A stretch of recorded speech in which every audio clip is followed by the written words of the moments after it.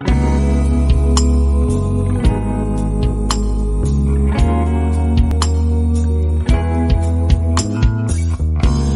for you into the darkness. I'm not aware of all the trouble. You fell asleep in my heart.